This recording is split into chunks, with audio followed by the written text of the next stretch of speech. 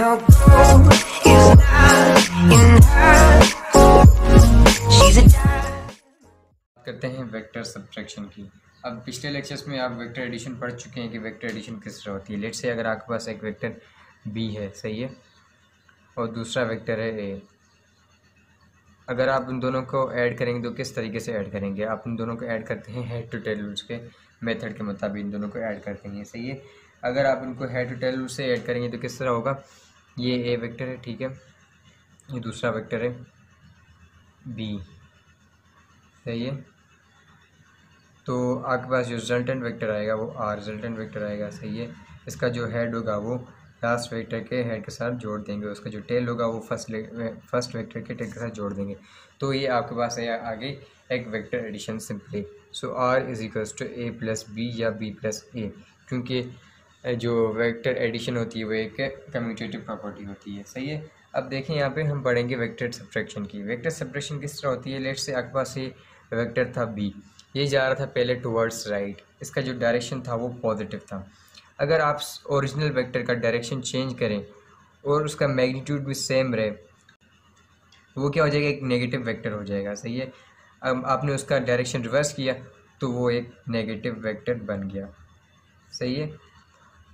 ये हो गया बी वेक्टर जिसका आपने डायरेक्शन रिवर्स किया, एक नेगेटिव वेक्टर बन गया, और दूसरा वेक्टर है ए अब दोनों को आपने ऐड करना है तो ये किस तरह ऐड होंगे? लेट से ये आपके पास एक वेक्टर है, पहला वेक्टर ए अब आपने इसको, इसमें ऐड करना है वेक्टर ए को. वेक्टर ए का जो डायरेक्शन है, वो टुवर्ड्स लेफ़्ट की तरफ़ जा रहा है. सही है?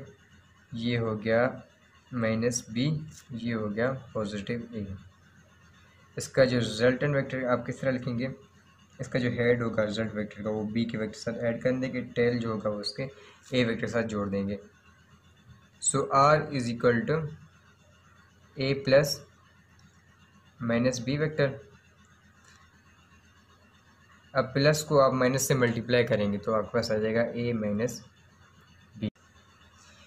ये होगी वेक्टर की सब्ट्रैक्शन सही है? अब लेट से आपके पास कोई भी वेक्टर हो, आप उसका नेगेटिव वेक्टर फाइंड करना चाहें तो आप किस तरह करते हैं?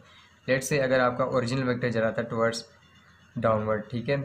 ये था ए वेक्टर ए डाउनवर्ड जा रहा था।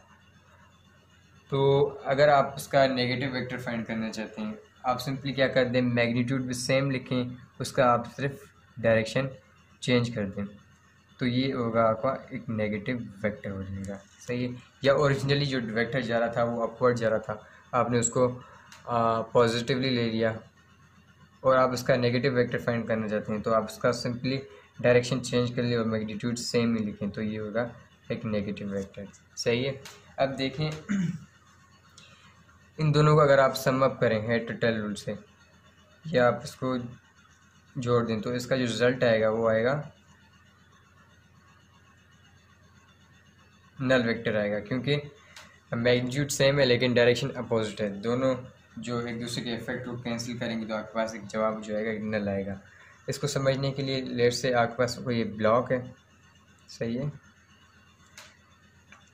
सही है इस पर फोर्स लग रही है टुवर्ड्स राइट सेवन न्यूटन की फोर्स अब सेम फोर्स जो लग रही है, इसके ऊपर वो टुवर्ड्स लेफ़्ट की तरफ़ लग रही है। सही है? आपने इस फोर्स को लिया पॉजिटिव ठीक है प्लस सेवन ठीक है? तो दूसरी वे जो फोर्स होगी, वो इसकी अपोजिट डायरेक्शन में लग रही है तो ये हो जाएगी माइनस सेवन न्यूटन सही है?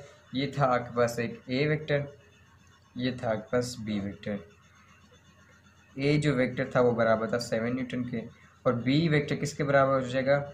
माइनस ए वेक्टर ठीक है? क्योंकि मैग्नीट्यूड सेम है लेकिन जो सेम फोर्स लग रही है वो अपोजिट डायरेक्शन में लग रही है। सो so, दोनों जो फोर्सेस होगी एक दूसरे के इफ़ेक्ट को कैंसिल आउट कर देंगी और जो बॉडी होगी वो एक रेस्ट की हालत में स्टे होगी ठीक है? जो बॉडी होगी वो रेस्ट की हालत में पड़ी होगी। सही है? तो बी जो हो जाएगा वो हो जाएगा माइनस सेवन न्यूटन तो अगर आप इन दोनों का रिजल्टेंट चेक करें ठीक है? सो ए प्लस बी लिखेंगे आप। ए की वैल्यू क्या है? ए वेक्टर की जो वैल्यू है वो है सेवन न्यूटन और जो बी वे, वेक्टर की जो वैल्यू है वो है माइनस सेवन न्यूटन दोनों को माइनस करेंगे तो आपके पास जो रिजल्टेंट वेक्टर आएगा वो ज़ीरो आएगा